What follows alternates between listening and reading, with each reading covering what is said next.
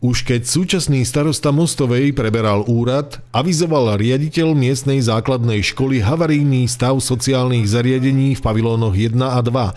Situáciu posúdili odborníci a obec začala konať.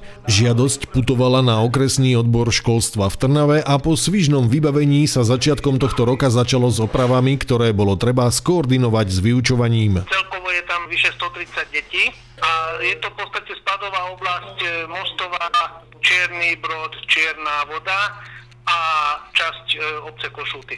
Momentálne teda pánske e, toalety nefungujú, riešime to na striedanie, takže počas prestávok sa používajú devčenské toalety, prvých 5 minút devčatá, druhých 5 minút chlapci. Všetko by dobre dopadlo, ale naposledy sa tu rekonštrukcia toaliet robila v dobe, keď v triedách ešte vysel obraz Husáka. No a prekvapenie na seba nedalo dlho čakať. Pod podlahou sa skrývali neuveriteľné veci. Bohužiaľ sme zistili, že ten stav nie je havarijný, ale katastrofický, takže pridali sa ďalšie problémy, čo sa týka kanalizácie a rieši sa to v súčasnej dobe, intenzívne nastúpili robotníci, Dúfajme, že do konca marca odoznáme nové sociálne priestory pre detičky, ktoré budú vyhovať aj hygienickým, aj technickým normám a budú slúžiť účelu.